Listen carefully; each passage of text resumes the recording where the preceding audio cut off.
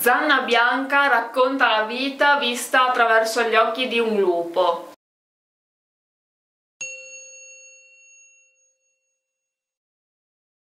Ciao e benvenuti in questa nuova recensione dei topi di biblioteca. Ho cominciato ultimamente a leggere un pochino di più e siamo al primo libro per quest'anno, ovvero appunto Zanna Bianca di Jack London. Vi ricordo che qua sotto in descrizione vi lascio tutti i link Amazon per poterlo acquistare sia in formato ebook che in formato cartaceo e direi di partire con la nostra recensione. Siamo nel nord più freddo e ostile tra l'Alaska e il Canada, un luogo caratterizzato da una natura selvaggia e avversa. È in questo contesto che nasce Zanna Bianca, metà cane e metà lupo, più o meno come Balto, anche se in questo caso la sua indole prevalente è fin da subito quella più feroce, quindi quella del lupo. Nel corso del libro il lupacchiotto crescerà incontrando gli esseri umani, che nel libro vengono detti uomini dei o dei uomini. Grazie all'uomo conoscerà poi sulla propria pelle quello che è il vero odio che non guarda in faccia a nessuno, ma avrà anche l'occasione di conoscere gli aspetti migliori della vita.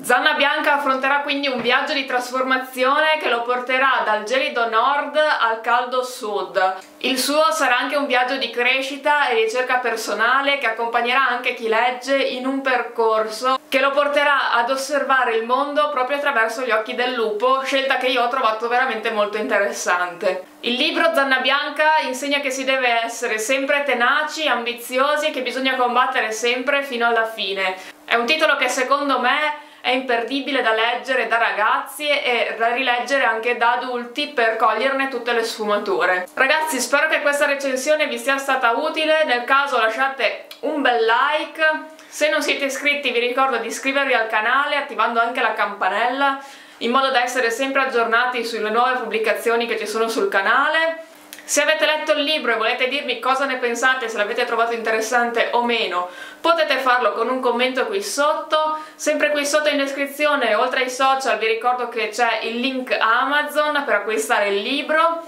Io vi do appuntamento al prossimo video. Have a nice life!